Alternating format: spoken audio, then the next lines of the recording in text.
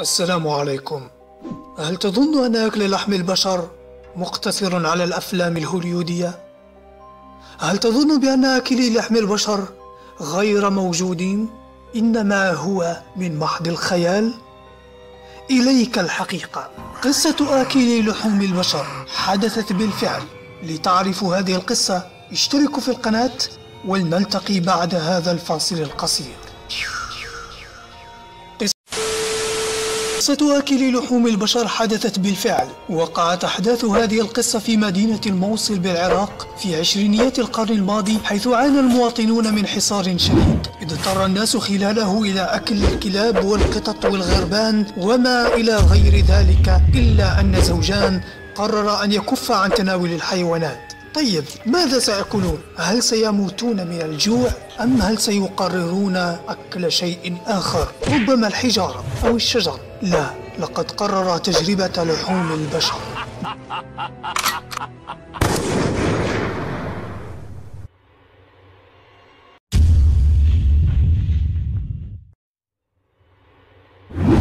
بدأ الزوجان اللذان كانا يعرفان باسم عبود وزوجته في عام 1917 أول الأمر بأكل امرأة عجوز. إلا أنهما لم يستسيغا طعمها نتيجة كثرة الدسم في لحمها فيها الكوليسترول والله أعلم مما أدى بهما إلى التقيؤ.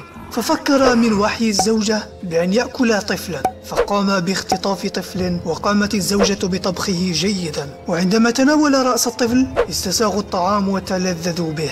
مما حدا بهم إلى افتتاح مطعم صغير يبيعان فيه لحم الرأس أو ما يسمى بالعراق القلية. من البشاعة أن أشرك الزوجين ولدهما الصغير في عملية سلب الأطفال حيث يقوم بجلبهم إلى المنزل واللعب معهم ثم يقوم والداه بقتله وطبخ الطفل. وكان بعد أن يفرغ الجمجمة من الدماغ ويجمعونها في حفرة قريبة من المطعم. ولكن أتعتقدون أن أمر الزوجين لن يكتشف؟ يكتشف بالطبع أمر الزوجين حين عثر أحد الزبائن بالصدفة على الحفرة المليئة بالجماجم. وكان ذا خبرة في الجزارة فاستبين من خلال خبرته أن ما يوجد في الحفرة من عظام هي بشرية وليست لحيوانات مما حدا به أن يبلغ عنهما إلى السلطات الحاكمة وقت ذاك.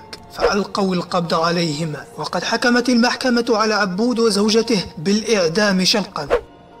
وفي صباح ذلك اليوم الذي سيتم إعدامهما ركبا على حمارين وسيقا إلى ميدان باب الطوب بالموصل حيث نصبت مشنقتان لهما. وكان الناس في الطريق يبصقون عليهما ويشتمونهما ويضربونهما وتجمهر الناس في الميدان ليشهدوا شنقهما. ويحكى أن امرأة كانت تنهش أقدام الزوجة إلى أن قطعت أصابع قدمها وهي تصرخ قائلة لقد أكل ثلاثة من أولادي. قصة بشعة مرعبة. نتمنى أن لا تؤثر على إحساسكم وعلى عواطفكم. أشكركم على المشاهدة. اشتركوا في القناة لتتوصلوا بجديد الفيديوهات. وأخبرنا في تعليق إن أردت المزيد من مثل هذه الحلقات. إلى اللقاء في حلقة قادمة بإذن الله.